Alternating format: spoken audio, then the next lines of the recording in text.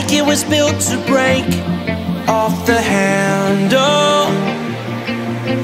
How'd we get to this place? We're leaving